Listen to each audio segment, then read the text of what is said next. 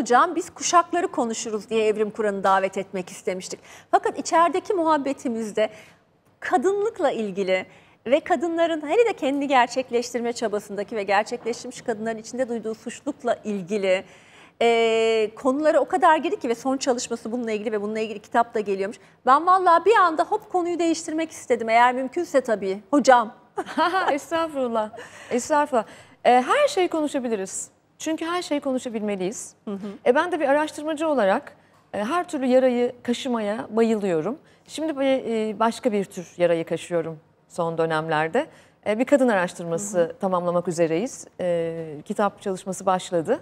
E, ve spesifik olarak imposter fenomeni yani Türkçe'ye sahtekarlık fenomeni olarak girdi. Yani kadın, başarılı kadının sanki kendini sürekli etrafındaki diğerlerini kandırıyormuş gibi hissetmesi, suçluluk hissetmesi ve neredeyse başarılı kadının diğerlerinden, özellikle de erkeklerden özür dilemek zorunda hissetmesiyle ilgili bir fenomen bu.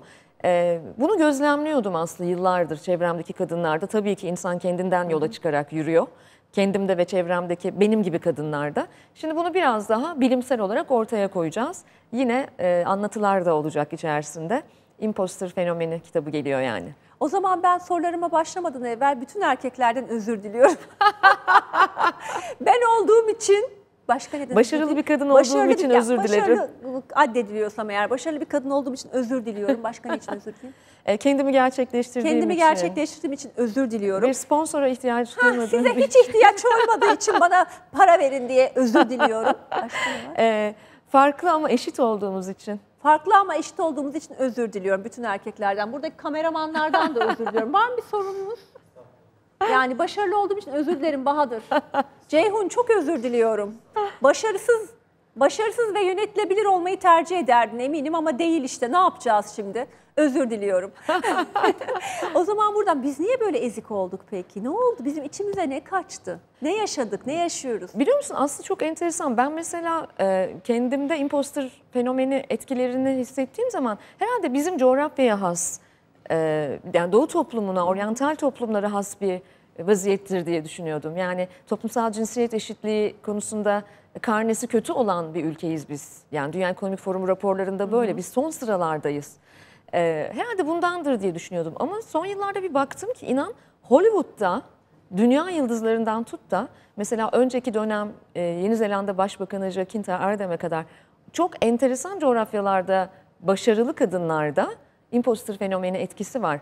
Ve ben bu- bunu kitapta bol miktarda anlatacağız ama bunun aslında çok küçüklükten gelen koşullu sevgilerle bağlantılı olduğunu sonradan kavradım.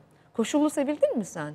Hiç hatırlamıyorum. Ben sevildim mi? Bana bunu sorsana. bak demek ki koşullu Yok, sevildim tabii. Çok sevildim de yani onu düşünmüyorum. Ko- ya koşullu sevilmedim herhalde. Düşünüyorum. Yani acaba e, daha çok kabul görmen, daha çok sevilmen, daha çok onaylanman için Evet.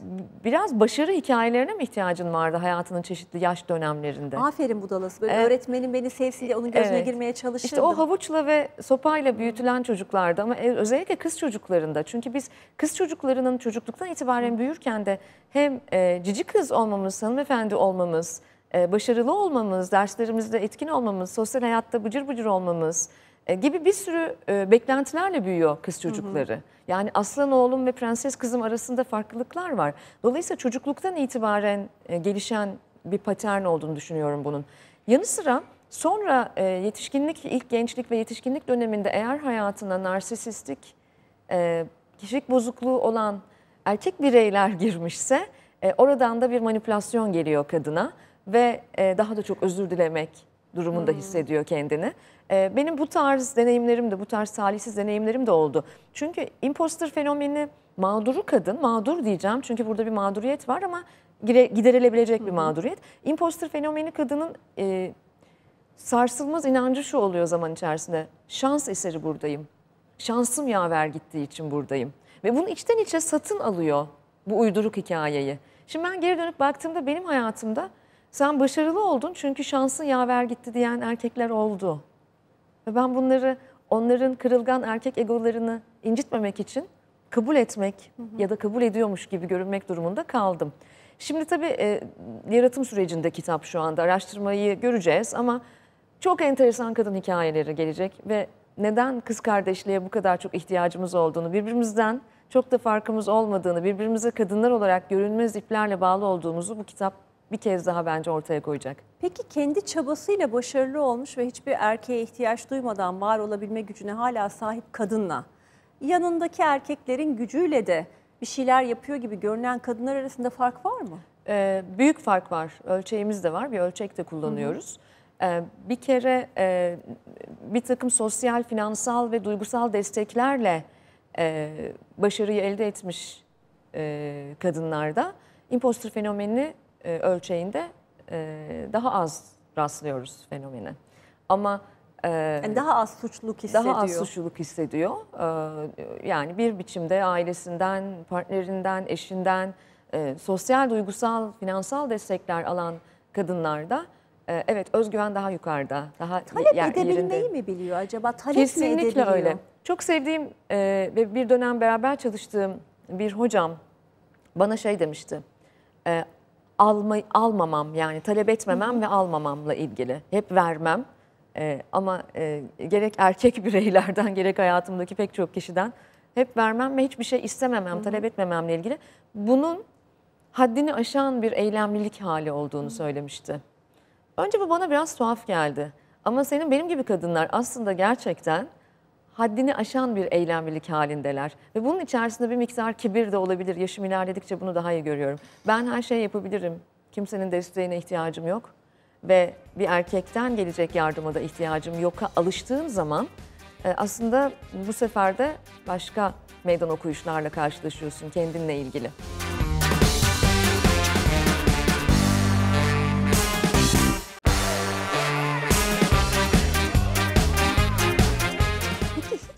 Hissetmiyor musun ya birisi beni korusa, hani saçımı okşasa, korusa, benim yerime düşünse, ya ben şu işini şöyle kolaylaştırayım dese, hiç böyle bir talebin yok mu?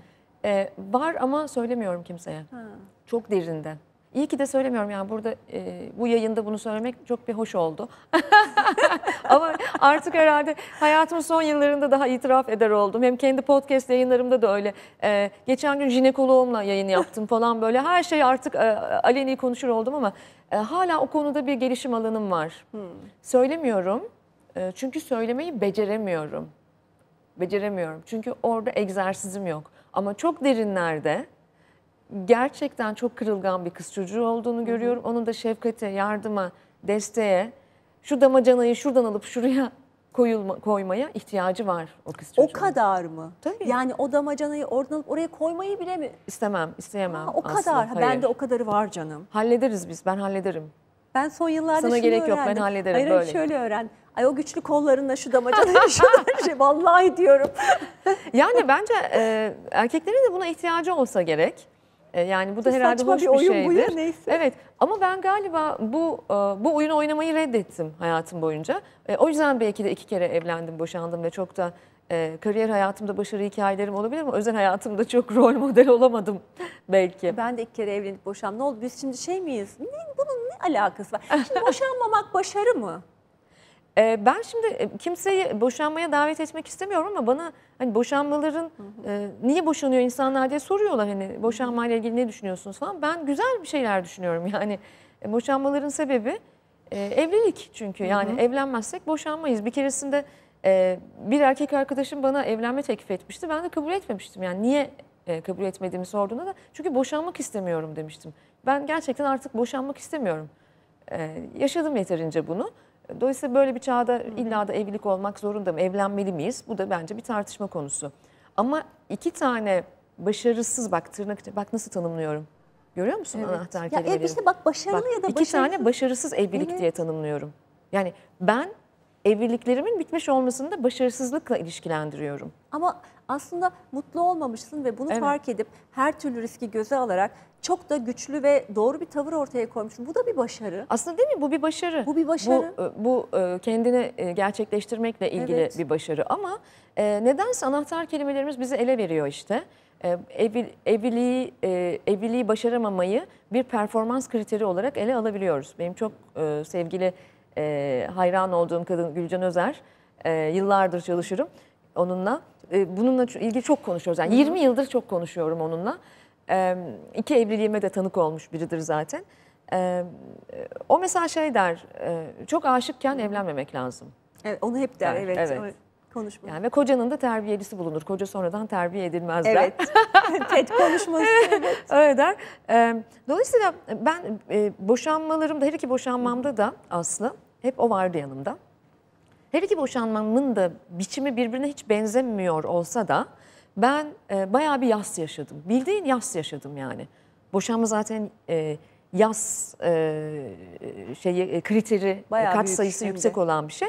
İkinci boşanmamda derin bir yas yaşadım. Hatta e, o dönem aynı anda hem e, Gülcan, Gülcan Hoca ile hem Şengül Hoca ile çalıştım. Yani Şengül Hocam'dan da yas danışmanlığı aldım falan. Çok onunla da çalıştım. Çünkü bunu e, edebiyle yaşamak istedim. E, uzatmayayım şuraya gelmek istiyorum. Gülcan Hanım bana dedi ki bu boşanmada yası yaşayan yani bunu daha ağır atlatan, daha e, kırılarak atlatan kadınlar genellikle başarılı kadınlar dedi. Çünkü bunu başarıyla ilişkilendiriyorlar. Genellikle başarılı iş insanları, hayatında başarı hikayeleri olanlar. Bunu başarıyla ilişkilendiriyorlar ve bunu bir performans kriteri halinde alıyorlar. Bak bunu beceremedim, başaramadım gibi. Bence o kafadan da çıkmak çok kritik.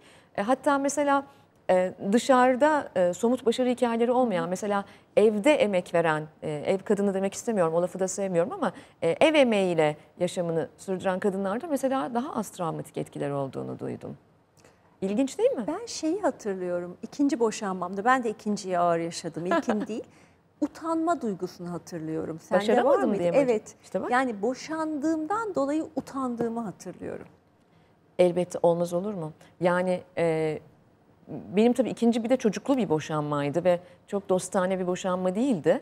E, ve hep e, lanet olsun şimdi bu hikayeyi anlatmak ve açıklamak zorunda mıyım yani topluma? E, baskısını da tabii ki çok yaşadım. Üstelik benim gibi işte bana sözde tırnak içinde güçlü kadın falan derler işte özgür kadın, güçlü kadın, feminist falan. Ama ben o baskıyı da tabii ki çok yaşadım. Yasımı da katladı o tabii ki.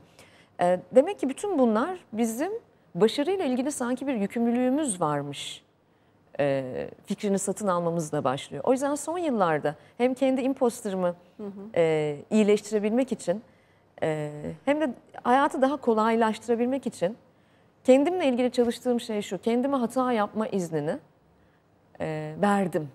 Hata yapabilirim ben. Yani o bunu da mükemmel bir şekilde sonuçlandırmalıyım. Şunu da aynı anda bunu da yapmalıyım. Jonglör gibi hiçbir topu yere düşürmeden hepsini kotarabilmeliyim. Baskısından uzak durmaya çalışıyorum ve artık benim de kırılgan bir insan olduğumu kabul ediyorum. Kırılganlığımla çok barıştım mesela. Her an istediğim yerde ağlayabilirim müşterimin karşısında bile. Yani e, o, o kırılganlıkla barışmanın çok kıymetli olduğunu düşünüyorum. Kırılganlığın gerçekten aslında bir kadının zayıflığı değil gücü olduğunu son yıllarda kavramaya başladım. Böyle böyle imposter fenomeni iyileşecek galiba. Bunu gösterebilme gücü bence de çok değerli. Hani kendi gibi ortaya koyabilme Evet. gücü. Bütün Büyük eril özgürlük. baskılara rağmen. Ee, şimdi peki buradan e, şöyle Hande Y kuşağı editörüm. Şimdi o benim e, kulağım az önce boşanmayla ilgili biz ona boşanma demiyoruz. istifa etmek diyoruz dedi. İstifa ediyorum evlilikten. O- Öylesi daha havalı geliyor aslında. Hani istifa ediyorum. Daha böyle havalı geliyor. Şimdi burada e, kadınlar özelinde baktığımız zaman da kuşaklar arasındaki fark e, kendini gösteriyor mu? Gösteriyor Yoksa, tabii. Ha, o, tabii gösteriyor. var? Ama şöyle bir şey var. Ee, geçtiğimiz sene e, Türkiye'de genç kadınlar ve genç erkeklerle 81 ilden genç kadın ve gen- genç erkeklerle bir toplumsal cinsiyet araştırması yaptık. Orada mesela e, ben gördüğüm şey şuydu. Belirgin bulgulardan biri şu. Bizim kuşakta toplumsal cinsiyet e, hala bir mesele, ciddi bir mesele. Biz ve bizden önceki kuşakta. Erkeğin toplumsal cinsiyet eşitliğine katkısı, düşünsel olarak katkısı daha az. Y, Y jenerasyonunda ve Z jenerasyonunda bu konuda daha büyük bir hassasiyet görüyorum. Öncelikle en belirgin farklılığımız bu. Ben e, son iki kuşağın yani milenyum çağı gençlerinin Y ve Z kuşaklarının kadınlarının görece şanslı olduğunu düşünüyorum. Çünkü o kuşakta erkekler toplumsal cinsiyet eşitliğine daha fazla önem veriyor ve daha fazla tartışmaya açıyor bunu ve daha e, müttefiklik diyoruz biz ona. Daha fazla müttefik. Kadının müttefiki olabiliyor erkek. Bunu nereden biliyorum? Bunun araştırmasını yaptık Türkiye'de hem de 81 ilde. Yani erkek de Türkiye'deki toplumsal cinsiyet eşitsizliğinin ve kadının yaşadığı ızdırapların bir mesele olduğunu ve bu meselenin giderilmesi gerektiğini önceki kuşaklara göre daha fazla düşünüyor. Bu tabii ki bir konforlu alan açıyor yeni jenerasyon kadınlara. Ama e, ne yazık ki jenerasyonlar değişse de değişmeyen bir bulgumuz var. O da şu, e, fiziksel, cinsel, ekonomik ve psikolojik şiddete maruz kalma oranları pek değişmiyor. Aa, Bu değişmiyor ne Kuşaklar yazık ki. gençleştikçe de değişmiyor. Maalesef bizim geçen sene yaptığımız e, toplumsal gençlerin toplumsal cinsiyet eşitliği araştırmasında genç kadınların yüzde sekseni bir biçimde şiddete maruz kaldım dedi. Bir biçimde şiddete maruz Ee, kaldım. karşı cinsten. karşı cinsten. Bu değişmiyor sadece. Demek ki bizim orada bir okuryazarlığa ihtiyacımız var ve bir de yüksek sesle ayağa kalkıp konuşmaya ihtiyacımız var. Ee, ve erkeklik halleri üzerinde de daha çok çalışmaya ihtiyacımız var. Erkeklik halleri üzerinde. Evet. Peki burada şimdi evrim kuran daha biz bunların hiçbirini bilmeden kuşaklar X'miş, Y'miş, Z'ymiş bunların hiçbirini bilmeden önce yani ta 2000'lerin başında hatta 90'ların sonu itibariyle bu işe kafayı takmış biri. Bu iş için yani demek ki burada bir sosyolojik öngörü de var. Şimdi bunu da hiç es geçemeyiz. Yani geleceği okumak ya da dünyanın nereye gittiğini kavramsal olarak da oturtabilme hali de var. Bir öngörü var burada. Ben o zaman hatta biz buna Hande ile isim bulduk. Aa bunu da konuşuruz diye. Ee, doğmam Evet doğmamış çocuğa kuşak, kuşak biçmek istiyoruz şu anda. Aa, çok iyi. Şimdi Hande ben, çok iyi. ben buradan bir 20 yıl sonranın perspektifini almak istiyorum. Çünkü 2000'den bugüne bakıldığında aynen bunlar vardı ve bu kadın daha dünyada konuşulmadan evvel bu işe kendini adadı. Bu, bu işle bir başarı elde etti. Peki o zaman şimdi 2023'teyiz. Yani mesela 2040'ı düşündüğümüzde alfa kuşağı ve ondan sonra gelecekleri düşündüğümüzde nasıl bir şey geliyor? Ne beklememiz gerekiyor? Şimdi asıl e, güzel bir soru ve ben e, çok uzun yıllardır gerçekten 20 yıldan fazladır e, bu bunu öngörüde bulunabilecek bir sosyolojik mesele olarak ele almaya çalışıyorum. Yani popülist bir düzlemde ele almıyorum. E, öngörüde bulunabilirsek bir miktar hazırlanabiliriz ve çatışmaları minimize edebiliriz diye düşündüm çünkü hep. Ama ben fütürist değilim. Yani ben bir gelecek bilimci değilim. O bambaşka bir çalışma alanı. Fakat e, e, Batı sosyolojisinin babası diye bilinen bir e, Doğu ilimcisi vardır. İbni Haldun. Aslında jenerasyonel sistem denen çalışma modelinin babası da İbni Haldun'dur. E, böyle Amerika'dan çıkmış Sem amcanın icadı diye e, lanetlenir bazen jenerasyon sistemi. Ama İbni Haldun'un mukaddimesinde mesela e, tarihin döngüselliği anlatılır. Hatta şimdi gençler için daha kolay okuma e, sağlayan, daha ince, daha keyifli bir mukaddime de çıktı. Ebeveynler veya gençler okumak isterlerse. E, şunu ifade etmek istiyorum. Orada İbni Haldun der ki, zamanlar zamanlara suyun suya benzediğinden daha fazla benzer. Yani tarih böyle lineer, uzayıp giden ve asla öngöremeyeceğimiz bir şey değildir döngüseldir der. Tarihin döngüselliği de bize şunu söylüyor. En basit, en popüler dille anlatayım. Aa anneannemin terlikleri gene moda oldu. Yani aslında ihtiyaç hasıl oluyor. O yüzden kuşaklar sistemi de yaklaşık 80 ila 100 yıllık döngülerde. O yüzden Cumhuriyet'in 100. yılı çok kritikti bence. İlk defa 6. kuşağını görüyor şu anda. Yani döngü e, tekrar kendini tekrarlamaya başladı. E, Dolayısıyla bu döngüselliğe baktığımızda nasıl bir ihtiyacın hasıl olduğunu anlayabiliriz. Mesela şu anda Z kuşağına bakıyoruz. Şu anda Z kuşağının içinde bulunduğu, büyüdüğü, işe veya hayata hazırlandığı bu dönem aslında bütün dünyada muhafazakarlığın yükseldiği ve oturmuş sistemlerin çatırdamaya başladığı total savaş dönemi diye bilinir. Yani sistemler değişir her yüzyılda bir dünyada. Ve bu Z kuşağının içinde bulunduğu dönem o yüzden daha e, muhafazakarlığın arttığı, duyguların derinleştiği bir dönemdir. Neden? Çünkü bir önceki dönemde ihtiyaç hasıl oldu. Bir önceki dönem Y kuşağının içinde bulunduğu 20 yıllık evrede o zaman da komünite olma, birlikte hareket etme, topluluğu e, cesaretlendirme, topluluk dinamikleri e, ve hedonizm biraz daha yükselmişti. Bak ondan bir önceki dönem bizim kuşağımıza baktığında bireysellik yükseldi. Bireyselliğe karşı gelen bizim kuşağın, senin ve benim kuşağımın bireyselliğine karşı gelen bir Y kuşağı, sonra Y kuşağının hedonizmine karşı gelen ve daha duygusal bakan bir Z kuşağı, ardı sıra gelen bir önceki ve bir önceki kuşak e, temalarının peşinde olmaz. İhtiyaç nerede hasıl oldu? Ben çok daha rasyonel, ideyanın, bilimin e, çok daha etkin olacağı bir alfa kuşağı bekliyorum. Aa ne güzel. Çünkü ihtiyaç hasıl oluyor. Yani ardıl kuşaklar birbirlerini tekrarlamazlar. Ben her zaman benim ebeveynimin bana yapmadığını, bende eksik olanı gidermek üzere hayatı yaşarım. İnsan hep kendinde olmayanın peşindedir. Dolayısıyla jenerasyonel sistem teorisi bize bunu zaten epey bir zamandır söylüyordu. Şimdi yaklaştı da birkaç senedir alfa kuşağı doğmaya başladı. Ben bir araştırmacı olarak alfa kuşağı şöyle olacak böyle olacak demem. Z kuşağı da şöyle olacak böyle olacak demiyordum 20 yıl önce. Ama öngörüler vardı. Ne zamanki araştırma yapmaya başladık öngörülerimizde çok konuştuğunu gördük zaten. Ee, jenerasyonel sistem araştırmaları yapan bu, bu perspektifle, bu bir segmentasyon aracı. Bu perspektifle hayata bakanlar aslında bunun ne büyük bir zenginlik olduğunu görüyor. Özellikle de çok kuşaklı ailelerde, çok kuşaklı şirketlerde. Burada mesela stüdyoda, bu binada birbirinden çok farklı kuşakları temsil ediyoruz ve hepimizin çok kuvvetli yanları var. Ee, senle ben yüksek performans, başarı, kendi kendini motive edebilme dönemi, kapitalizmin çok yükseldiği dönemlerde, rekabetçi ortamlarda büyüdük. Bu bizim güçlü kasımız. Y jenerasyonu o yüzden bizden sonraki kuşağı şöyle yargılarız hep. Bunlar hep işin keyfinde, hiç çalışmayı sevmiyorlar. Hep keyif peşindeler. Bunlar hiç bizim gibi değiller. Tembel bunlar. Hayır değiller. Onlar da işin içine yaşamı entegre edip her ikisinden de keyif alınabileceğini bize öğretmeye geldiler aslında ve komünite olmanın güzelliğini. Ama bir şey atlamıştık bütün bunlar olurken. Peki duygular, değerler, dünyanın çektiği acılar, o sorumluluk hissi. Şimdi Z kuşağı bize onu getirdi.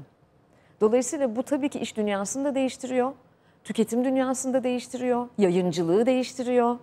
Ee, Ben dediğim gibi bundan sonra ben artık alfa kuşağının e, ebeveyni olmayacağım ama alfa kuşağının ebeveyni olacakları ve onları şirketlerinde istihdam edecek yeni nesil şirketlere şunu söyleyebilirim. Rasyonel bir dönem gelecek bence. E, rasyonellikten şunu mu anlayayım? Yani alfa ve sonrası için mesela dünyanın çektiği acıları daha duygusal anlamda da fark edip. Z fark etti bunu. Veganlık, Evet, işte Z bunu fark etti. hayvanların Evet. Ya da savaşlarla ilgili aksiyon alır mı alfa ve İşte sonrası? alfanın görevi de bu olacak bence. Orayla ilgili çözümleri yaratmak. Akıl, rasyonel, idea dönemi olacağını düşünüyorum. Çok e, bilimin yükseleceği bir dönem olduğunu düşünüyorum. Peki 100 yıl 6 kuşağı tamamladık 100. yılda dedin ya. Evet. Orada şunu merak ediyorum. Şimdi 6 kuşak önce bir döngüden de Evet. bahsettin ya. Yanlış bir şey anlamayayım diye kendi kafamda oturtmak için. 100 yıl evvelki Türkiye'ye baktığımızda o e, aslında kolektif bilinci yani ortak bir Evet. düşmana ya da bir e, kavrama, kurtuluş mücadelesine karşı bir şey oluşturmaya karşı ortak canı pahasına verme halini bu yüzyılda tekrar döngü varsa benzer kuşağı olur mu? Aslında e, içine içinde bulunduğumuz dönem e, kuşak kuşak analistleri, araştırmacıları tarafından zaten savaş dönemi diye çok uzun yıllardır tariflenen bir dönemdi. Ama şunu hep e, konuşuruz, bakarız. Acaba nasıl bir savaş bu? Bu nasıl bir savaş? Ve aslında pandemi mesela çok büyük total savaştır kuşak çalışmalarında bunun tabiri. Mesela pandemi bir total savaş olarak kendini gösterdi. Bütün dünyada sistemleri değiştiren kritik bir e, vakadır savaş dediğin şey. Yani her zaman topla tüfekle yapılmayabilir. Bu ülkeler için de böyledir. Yani her zaman e, askeri e, araçlarla yapılan bir savaş olmayabilir bu. Dolayısıyla nasıl pandemi yaşam biçimlerimizi, iş yapma biçimlerimizi, kültürü, sanatı, edebiyatı, günlük hayatı, ekonomiyi, seyahati nasıl çok ciddi şekilde değiştirdi, sarstı ve etkilediyse e, bu içinde bulunduğumuz dönem bizim ülkemizin de çok önemli bir geçiş dönemi olduğunu düşünüyorum ve bunun bir yaratıcı yıkım olduğunu e, olduğuna inanmak istiyorum ya da inanıyorum. Yani bütün bu mücadele alanlarından e, tekrar bir kolektif bilinç yükselecek hissindeyim ben. Şimdi bir sıradan faniler var ve burada bu işin uzmanları var. Öyle bakınca ben belki zaman zaman kendi duygularıma, endişelerime, korkularıma yenilip ülkeyle ilgili endişe edebiliyorum. Eyvah eyvah ne olacak şimdi diyebiliyorum. Ama sen bütüncül açıdan baktığın zaman o bütünlükte daha mı e, arkana yaslanarak bakıyorsun Evet ben daha iyimserim. Ee, ben daha ümit varım diyelim. Yani iyimserlik çünkü biraz daha bugünle ilgili bir şey. Bazen iyimserliğimizi kaybedebiliyoruz ama ben e, dünyanın da ülkenin de geleceğiyle ilgili ümit varım bir kere. Çünkü muazzam bir kuşak yetiştiğini görüyorum ve elini taşın altına sokacak bir Z kuşağı yetiştiğini görüyorum şu anda. Biz bunu iş dünyasında ve akademi dünyasında etkilerini görmeye başladık bile. Çok daha bilinçli tüketiciler, çok daha e, bilinçli kullanıcılar. Çünkü dünyanın dertlerinin çok daha fazla farkında olan bir kuşak. dünyanın derdinin farkında olan bir kuşak dertli bir kuşak oluyor doğal olarak. Bunlar dertli bir kuşak ve çok fazla dünyanın dört bir tarafında 61 ülkede gençlik araştırmaları yapan bir yapıyız biz. Ve nereye gidersek gidelim, dünyanın hangi coğrafyasına gidersek gidelim bu kuşak gelişmiş ekonomilerde de dertli bir kuşak. Kaynaklar azalıyor ve bu hayatı, bu sıkıntılı dünyayı onlara biz bırakıyoruz. O yüzden ben çözümlerle beraber büyüyeceklerini düşünüyorum. Ha, Türkiye'nin Z kuşağı, 25 milyon Z kuşağı birey dezavantajlılar. Çünkü bir yandan da onların hayatını kolaylaştıracak uygulamalar bizde az. Biz gençlerini çok seven bir toplum değiliz. Biz aslında bakma yaşlılarını da çok seven bir toplum Yok değiliz. hiç hiç biz Yani yaşlıyız. biz ageist yani yaş ayrımcısı bir toplumuz. Yaş ayrımcısı. Bir ayağı çukurda da deriz. Sus e, küçüğün, söz büyüğün de deriz. Ee, ama ben bu, bu jenerasyonun, şu anda büyümekte, gelmekte olan jenerasyonun, şu anda ergenlik çağında olan, e, okullarında olan veya okullarında olma fırsatı bile olamayan bu gençlerin daha fazla sorumluluk alacağını düşünüyorum. Çünkü iş başa düştü. Süper kahraman beklemiyor artık bu çocuklar. Bu da kendi tabirleridir araştırmalarımızda. Çok güzel bir yerdeyiz. Benim hep sorguladığım bir şey var ve çok canımı yakan. Belki bizim kuşaktan yola çıkarak, kendi duygularımdan yola çıkarak böyle düşünüyorum ama hep bu toplum için söylediğim zaman yani bizim vicdanımız var, bizim canımız yanıyor, içimiz acıyor, gözümüzden yaş akıyor. E, ama vicdanımızla hareket kas- e, hareket kabiliyeti veya onu aksiyona dökme arasındaki kasımız kopuk. Şimdi Kesinlikle. kuşaklarda buna bakacak olursak yani şöyle bir umut olabilir mi? E, artık işte Tulga e, Z kuşağı ya da ondan sonra gelen altta alfalar var. Evet. E, bunlar artık harekete geçebilen, aksiyonu olan, o canları yandığında vicdanen başka bir yerdeki çocuklar için, deprem için, o için, bu için bir şeyler yapabilen bir kuşak mı olacak? Hatta bunu biraz tersin, tersine çevireceğim Aslı. Hatta harekete geçmeyecek olmaları da bir hareket olacak. Bak şimdi kafanı karıştırdım. Ne demek biliyor musun? Mesela bazı ürünleri tüketmeyecekler. Bazı şirketlere müşteri olmayacaklar. Bu büyük hareket bence. Mesela bu hareketsizlik Evet. çok büyük bir hareket olacak ve Z kuşağı tam olarak bu e, sessiz direnişin kuşağıdır. O yüzden değiştirecekler sistemleri. Gel bence. Tulga bir gel ya seni bir gör. Tulga biraz iri yarı. Böyle baktığınızda Z demezsiniz ama valla Z Bilgi Üniversitesi'nden bizimle çalışıyor canım benim Merhaba gel. Tulga. İşte Merhaba çok Tulga. gurur duyuyorum ya bu kuşakla. çok seviyorum. Bir kuşağı güzellemek istemiyorum. Yapmamam lazım ama ne bileyim anneyim belki ondan benim de Tulga'nın yaşına yakın oğlum var. Ee, ama e, toplumsal duyarlılıklarının daha fazla olduğunu bütün araştırmalarımız ortaya koyuyor. Bütün araştırmalarımız. Dünyanın dört bir yanında. Öyle mi Tulga sen özelinde? Öyle ve e, daha çabuk hareket alıyoruz bence ve içimizden geldiğince davranıyoruz. E, daha çok bir şeyleri değiştirme amacındayız. Çünkü çok uzun süre e, hep aynı şekilde gitti, kalıplaşarak gitti bir şeyler. Kalıpları kırma amacındayız. O yüzden e, bu hareketliliği de seviyorum açıkçası. Çok teşekkür ediyoruz Ben teşekkür Sağ ol. Bize de destek Sağ ol olduğun için ayrıca teşekkürler. Stajyer kendisi çünkü. Harika ve buradan o zaman seslenelim Ee, bütün endüstrilere, bütün şirketlere. Bizim stajyer ihtiyacımız yok ki falan diyenlere de lütfen liseden başlayarak bu gençleri zorunlu staj dışında da lütfen ekosistemlerinize dahil edin ve onlardan öğrenin, onları dinleyin. Bu bizim e, yıllardır çok yaptığımız programlar. Bir de şunu söyleyeceğim. Mesela Tulga da çok güzel ifade etti bunu. Çok tipik bir Z kuşağı örneği olarak ifade etti. Bunu da yakarak, yıkarak yapmıyorlar biliyor musun? Çok soğukkanlı ve sakin bir biçimde yapıyorlar. Yani biz bunu değiştireceğiz. Biz, Biz bunu nasıl büyük büyük cümleler kurardık. Evet mesela büyük laflar da etmiyorlar. Şeye çok benzetiyorum bu durumu. Benim için dünyanın en iyi liderlik kitabı Sun Tzu Savaş Sanatı kitabıdır. Herhalde 3000 yıllık falan e, bir kitap. Orada Sun Tzu şöyle der. Kim savaşmak istemeyenle savaşabilir ki? Bence Z kuşağı bu. Bu gençler böyle. Bu, bu arkadaşlardan Türkiye'de 25 milyon birey var. Ee, ne yazık ki bu seneki araştırmamızda e, %80 oranında e, katılımcımız e, fırsatını bulursam Türkiye'den gitmek istiyorum dedi. Tamam böyle bir riskle karşı karşıyayız. Gidiyorlar da son yıllarda. O yüzden bu konuda da bir kitap yazdım. Nereye gidiyorlar e, ve gelirler mi diye. Ama gitsinler ama ben bir gün döndüklerinde de tıpkı Cumhuriyet'in ilk yıllarında Türkiye'den giden ve bilimle, meşalelerle buraya dönen insanlar da olduğu gibi bir gün buraya döndüklerinde de e, o dünyanın dört bir yanında kurdukları diasporayı buraya e, çok güçlü bir şekilde taşıyabileceklerine inanıyorum. O konuda da onun için çok ümitsiz değilim. Çünkü benim işte üçüncü kitabım Onlar Göçtü Buradan bunu anlatıyor. Evet. Orada binlerce Tulga gibi göçmüş, e, göçmen, göçmen gençlerle çalıştığımızda şunu öğrendik. %60'ı evet ben geri dönmek istiyorum diyor. Ancak ve ancak kendimi ifade edebileceğim bir ülke olursa Biz diyor. de gittik döndük. E, Evet işte. Ben, yani biz de. ben dönmek için gittim. O vardır hani insan Evet. dönmek için gider. Tabii zaten e, kitapta da yazmıştım. Göçmenlikte şey var. Dikey mi döneceğim, yatay mı dö- döneceğim hikayesi var. Biraz e, acıklı gelebilir ama hayatın gerçeğidir bu. E, göçmen ya dikey döner ya yatay döner. Yatay e, memleketinde gömülmek üzere e, bir uçağın şeyinde ne deniyor ona? Uçağın e, e, eşyaların konulduğu yer işte. Orada dönüyor bir tabutun içerisinde. Dikey de gene uçakla oturarak gidiyor, uçakla oturarak dönüyor. Ben dikey döndüm hamdolsun. Yatayda dönenler var. Kitapta şeyi çok sordum Aslı araştırmayı yaparken e, göç kitabında. E, nereye gömülmek istersin bugün orada vefat etsen diye. Şimdi bu çok kritik bir soru biliyor musun? E, Ay hiç düşünmemişim. Enteresan çünkü göçmen bunu düşünüyor. Göçmen bunu düşünüyor aslında. Ben de bir gün Kanada'da yaşadığım yıllarda bunu düşünmüştüm ve oradan yola çıkarak bu soruyu sordum. En çok insanların e, derin görüşmelerde araştırmada sorduğumuzda en çok konuştukları başlıklardan biri buydu. Çünkü hepsi düşünmüşler bunu. Ne diyorlar genelde?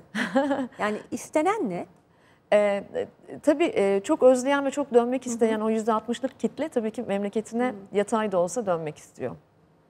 Ben de istiyordum. Benim ben mesela o zaman vasiyet etmiştim orada yaşarken Ankara'ya. Beni eğer şey Şeye mi? olursa Asli Ankara'ya. Ankara'ya? Karşıyaka'ya. Şey, ha, karşı yakayım. Evet, öyle demiştim. Ankara. Ya düşünsene Toronto'da yaşıyorsun. Başka bir hayat kurmuşsun ve böyle bir şey olursa ne olur ne olmaz beni Ankara'ya, Karşıyaka'ya götürün diyorsun. Çünkü Şu anda aynı şeyde misin? Yani yine Ankara karşıya. Hayır buradan da belirtelim herkes Tabii duysun. evet kendini. efendim. Ay, Çünkü Allah yalnız Allah yaşayan kadınım. versin. Buradan Allah belirtelim korusun. herkes Allah duysun. Bu kadın böyle istiyor. Tabii Yok, ki yok, Ankara. Karşıyaka. Benim için çok özel bir yer. Tamam. Orada Evet. yani Ankara'da doğdum, büyüdüm. Ben çok e, platonik bir Ankaralıyım. Platonik artık aşkımız Ankara'yla. E, Ankara'da sadece iş için hızlıca gidip geliyorum ama e, bu mesela çok enteresan çünkü orada bir şeyi kazıyorsun, kendi içini kazıyorsun o göçmenlikte. Dolayısıyla laf lafı açtı ama e, bu gençler gidiyor ama gittikleri yerlerde çok dolce vita hayatlar yaşamıyorlar yani hala özlüyorlar. Hala dönmek istedikleri bir ülke var ama diyorlar ki kendimi ifade edebileceğim bir ülkeye dönmek istiyorum. Yani aslında bizim bu araştırmamız bunu çok net ortaya koyuyor. Aslında daha çok para kazanmak, daha fazla finansal refah içerisinde yaşamak için gitmiyorlar. Kendilerini gerçekleştirmek için gidiyorlar. O yüzden bu gençlere alan açmalıyız Türkiye'de. Ama biz de çaba sarf etmiyor muyuz? Yani değil mi doğa kaynakları için daha bilinçli bireyler. Hani Evet. yaşımız belki evet belki X kuşağı biz X, X kuşağıyız Evet. ama hep karıştırıyorum ben onları. X Evet. kuşağıyız ama yine de sonuçta onlara adapte olabilmek için, onlardan bir şey öğrenebilmek için. Yani genel kısmımız, olarak da bir ben, yani ben kendi adıma hani Evet. çaba gösteriyorum. Tabii e, Buna senin plastik kullanımından hayvan Evet. haklarına kadar pek çok geniş bir yelpaze koyabilirim ama kendimce yapmaya çabalıyorum. İşte en kuvvetli yanımız bireyselliğimiz. Bak kendimce ben birey olarak kendim olarak diye bunu tanımlıyorsun. Ama bizden sonraki kuşak komüniteyi tetikliyor. Anladım. Kamuoyu yaratabiliyor. Biz bunu yapıyoruz ama bizim e, senle ben belki çok münferit örnekler olabiliriz ama bizim kuşağın genel özelliği biz çok bireysel e, performansla yetişmiş, büyümüş ve çok rekabet ortamında büyümüş ve çalışmış bir kuşak olarak e, bir komünite yaratmak konusunda iyi değiliz. Bunu yaptığımız bütün araştırmalarda görüyoruz. Yani doğal bir dayanışma e, formu e, bizim kuşakta pek olamadı. O yüzden ben Z kuşağının e, burada çok e, önemli bir rolü olduğunu düşünüyorum. Aslında bazı siyasi parti liderleri falan gidiyorlar Z kuşağına diğer siyasi parti liderlerini şikayet ediyorlar. Öyle yapmak istemiyorum. Ben Z kuşağına anlamsız ve gereksiz yükler vermek istemiyorum ama e, varoluşsal olarak onların zaten bu dünyada ters giden birçok konunun farkında olduklarını ve iş başa düştü dediklerini biliyorum. Bana ayıp da geliyor zaten sürekli bir kuşak. Ya Saçma evet. sapan klişeler Evet, yani. çok klişe. Şey muhabbetler, yaşlı yaşlı muhabbetler bunlar. Yaş ayrımcılığı yapmayacağım ama bu yaşlı bir muhabbet yani.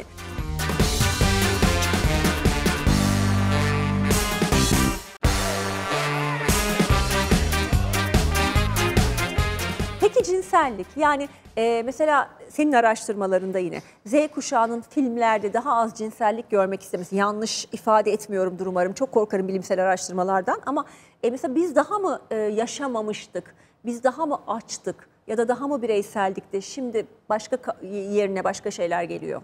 E tabii ki cinselliğin e, biyolojik bir e, yapı olduğunu bizim kuşağa göre daha iyi bilen, daha erken öğrenen ve daha bilimsel kaynaklara ulaşabilen bir kuşaktan bahsediyoruz. O yüzden de cinselliği biyolojik, normal, olağan bir akış olarak kabul eden bir kuşaktan bahsediyoruz.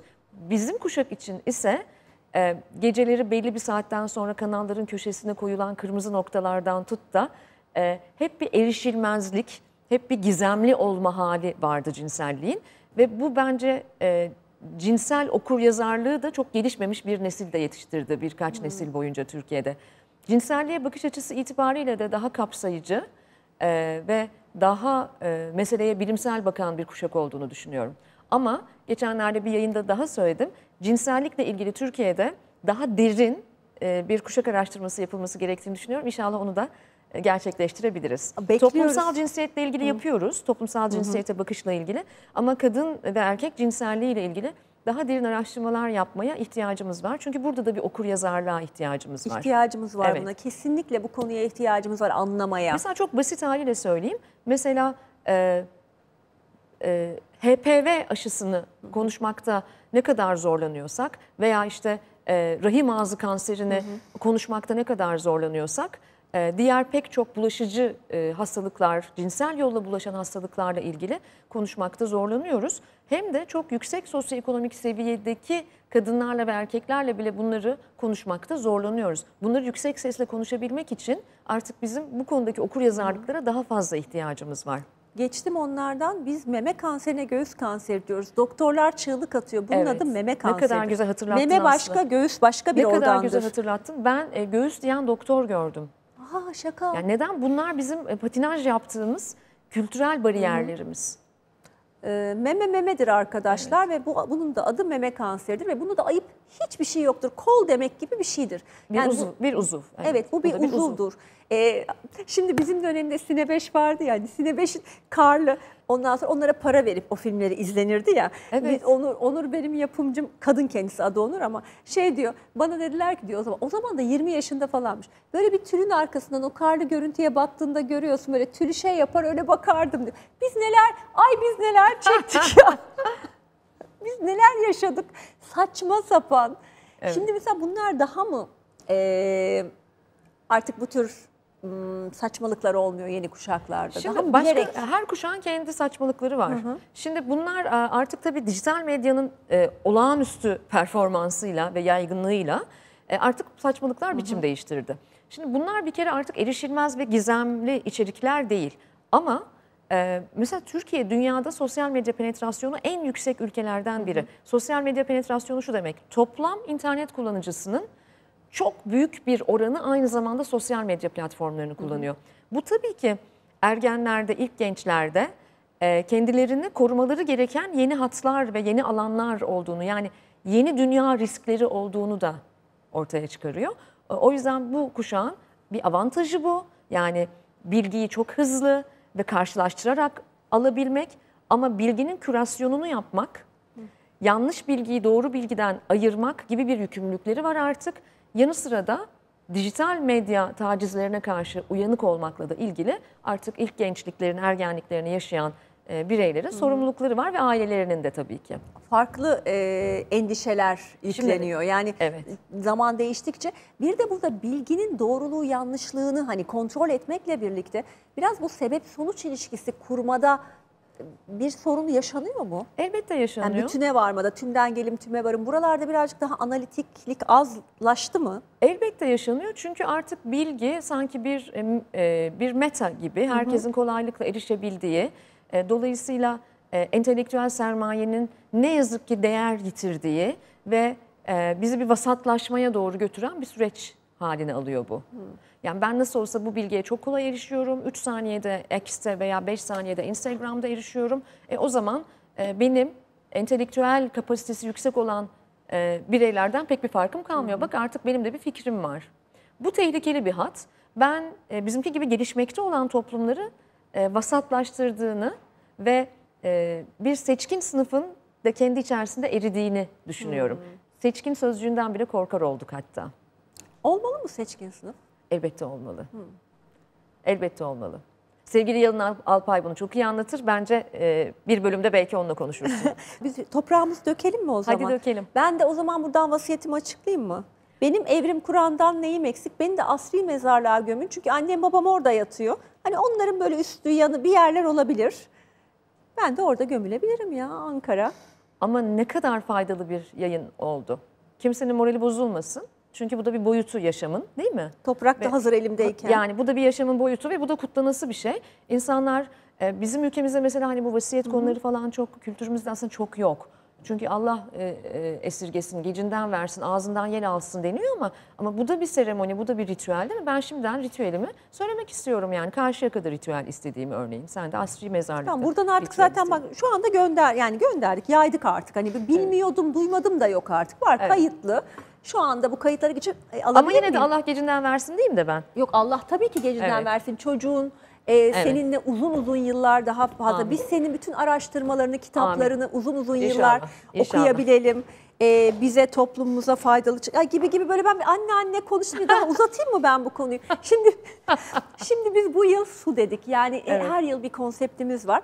Biraz bir e, su gibi şeffaf, su gibi kendini gerçekleştirebilen ve berrak zihinlerle olabilmek ve tabii ki kuraklığa da dikkat çekebilmek. Toprak metaforumuz da tabii ki kuraklık ve gıdamız, toprağımızın değeriyle ilgili ama biraz biz burada politik doğrucu bir tavırla yani din, dil, ırk, yaş, cinsiyet ayrımcılığı yapmamaya çalışıyoruz kendi içimizde ama coğrafya ve toprak ayrımcılığı da Yapmayalım. yapmayalım. Herkesin evinin önünden getirdiği toprak diğerleriyle birlikte birbirine karışsın dileğimiz var. Bu da Evrim Kur'an'ın ulustan getirdiği toprak. Evet. Ee, ay harika. Çok duygulandım. Çok güzel. Şöyle bu toprağı da buraya koyuyorum. Bu toprak e, Türkiye'ye kesin dönüş yaptığımda bir buçuk yıl Alayım ben. önce Şöyle karıştıralım mı beraber? karıştıralım. Bir buçuk yıl önce ekip arkadaşlarımın e, kesin dönüş yaptığımdaki yerleştiğim evime getirdikleri yuka ağacının dibinden. Dolayısıyla benim için çok e, sembolik bir anlam var. Yani beni tekrar toprağımla buluşturan e, bir dönüşü sembolize ediyor. E, bence bu çok önemli. Ben de oğlum Ali'ye e, kökler vermeyi çok önemsiyorum. Çünkü önce kökler sonra kanatlar. O yüzden toprak çok anlamlı benim için. Teşekkür ederim. Harika Biz bir ritüel. ikimiz de Ankaralı olduğumuz için toprağım diye toprağım diye bitirebiliriz. toprağım diyorum. Ayrıca özür de dilemiyoruz ya. Özür de dilemiyoruz. evet ya o, o kinayeydi. Yani. Şakaydı o.